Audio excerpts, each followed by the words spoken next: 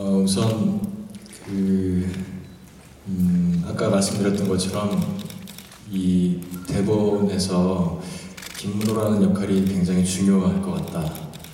그 브리시 역할을 정말 잘 해내야 될 것 같다라는 저 스스로의 도전이 있었고요. 어, 그리고 그 우리 송진아 작가님과 이정석 감독님에 대한 어, 믿음이 있었고요.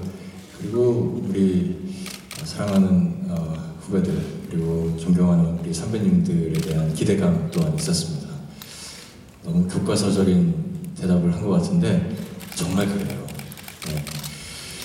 그리고 음, 더 테너 같은 경우는 그 촬영을 하다가 잠깐 투자의 문제로 어, 섰었던 작품이었어요. 그래서 어, 그 작품을 포기를 해야 되나 뭐 이런 난관이 있었는데 아, 그때 어, 포기하지 말고 제 동료들하고 정말 멋있는 작업 해보고 싶다는 생각에 아, 한 1년 정도 성악 연습을 했었습니다.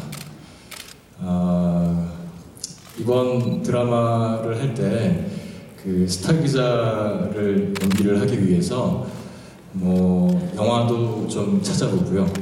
어, 드라마 뭐 예를 들면 뉴스룸이라는 드라마도 추천을 받아서 봤었고 그 모두가 대통령의 사람들 뭐 이런 영화도 찾아봤었고 그리고 그 뭐 누구나 다 존경하고 있는 손석희 씨 어, 인터뷰 영상들 그리고 방송 영상들도 좀 꼼꼼하게 찾아봤었고 이상호 기자님도 한번 몇 번 만나 뵙고 뭐 드라마 때문에 만나 뵀다라고 하지는 않았지만 어, 그냥 사석에서 좀 만나서 그분의 좀 습관이라든지 그분의 뭐 표정이라든지 이런 것들을 좀 참고하려고 노력했습니다.